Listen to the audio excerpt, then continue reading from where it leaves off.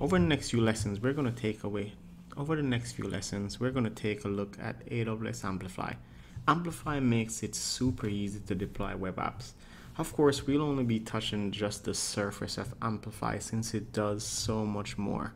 Amplify is, think of it as a suite of applications where you can build mobile backends, APIs, and hosting your web app is just one feature and that's what we'll look at.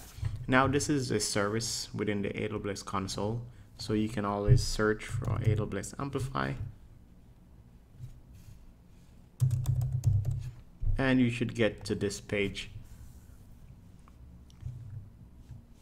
We can scroll down and this will show you just some of the features of Amplify. There's Amplify Studio, there's Amplify Hosting. This is what we're interested in. And here we see support for React, Vue, and just simple static JavaScript applications. So let's it get started. And off the bat, there's a couple options where we can tie this in. And just to show you how simple this is, let's start by testing deploy without Git provider. And we want to give this app a name. So let's call it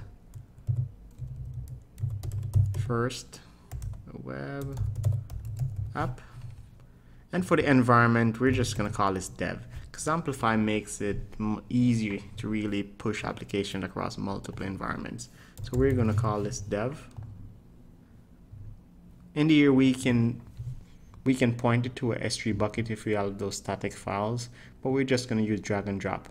And again, we just want to drag the build folder. So if we go to our source code, and if I do a npm run build, if you're running a new React application, once your app is compiled, we just want to grab the build folder and copy it over to Amplify. Once your application is built, we want to grab the build folder. I've already opened up the folder here, so I can drag this over. So let me,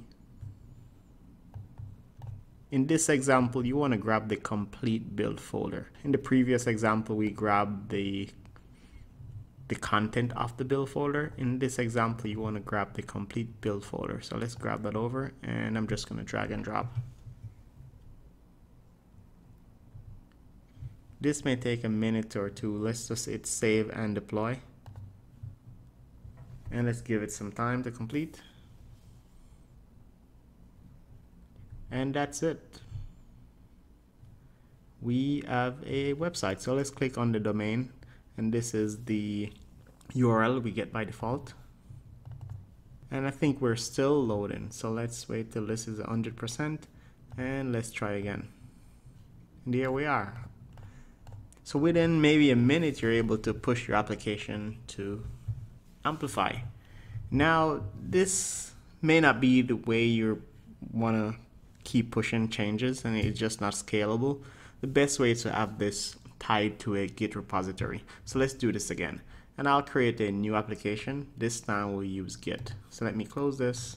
I'll go to all applications, new app, and we're going to host web app and this time we want to use GitHub since we have our application hosted in Git.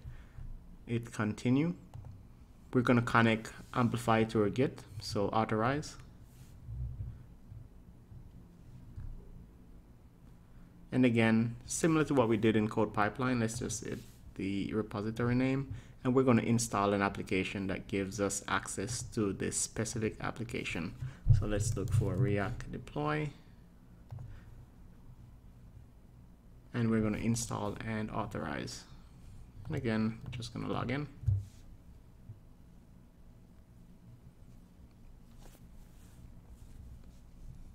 Once that's connected, we should be able to select our repository and the branch. We currently only have one main branch, so we just want to use that.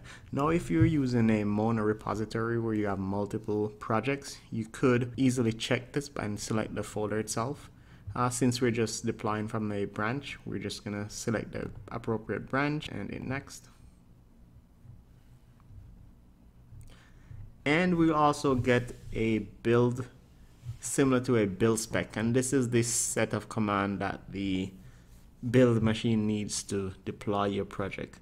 So we can download or we can edit this. Let's download this for now let it next. And we're going to save and deploy. And this will go through the steps one at a time, right? So we have our provision, build, deploy, and verify. Quite similar to our pipeline run before. So this should take a few minutes. And after a few minutes, the pipeline should complete. So let's test our application. And there you go. So not only did we connect this to source control, we also have a pipeline. That our application has gone through the full pipeline and it works, what if we want to make changes to our application again? And this is very simple, right? So let's go to our application and I'm just going to make a minor change. I need to reduce the increments right here. I'll save this and let me do a git status just to make sure my change is in effect. And I'll add this and I'll just commit this.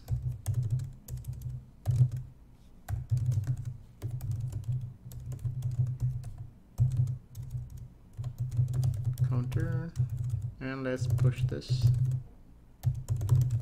to main.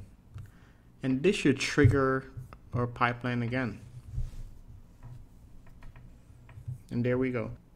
So we have a full pipeline that we can automatically deploy. And we can expand on this a lot more given how easy it is to get started.